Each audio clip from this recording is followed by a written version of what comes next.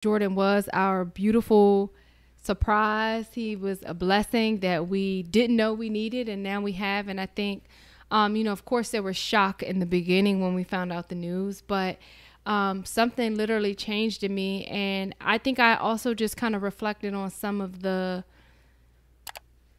some of the things that I dealt with growing up and the challenges that I that I faced. Um, you know, I had amazing love. I have amazing loving parents, but you know, we had a lot of challenges when I was a kid mm-hmm. growing up, and this was my opportunity to be able to make sure that my child never has to go through some of the hardships and challenges that I had to go through as a child. Amen. And so that also created like this level of nurturing that I didn't even know that I had inside of me. I thought that it would be something that I would struggle with, but once I got into pregnancy and just feeling him grow inside of me grew my love for him. And then uh, me having a you know us having a crazy delivery and me having an unmedicated um, delivery which was unplanned um, and just knowing that we created him and we brought him into this world i understand the responsibility that it takes. And i don't want to mess that up. I think those have contributed to my level of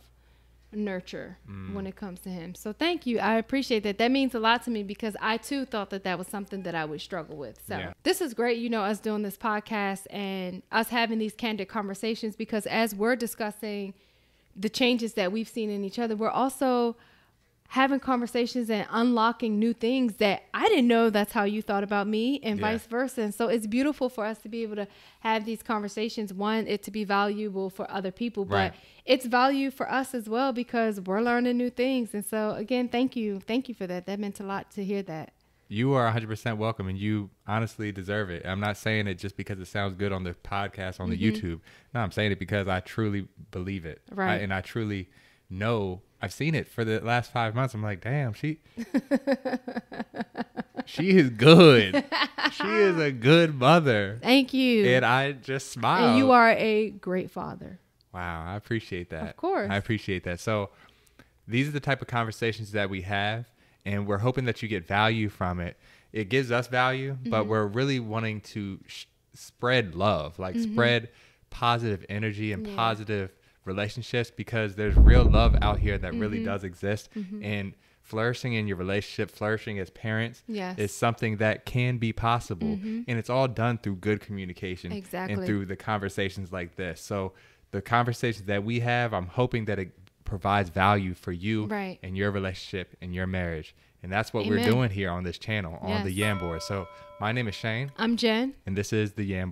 Bye, guys. And remember to always find joy in the journey. Peace.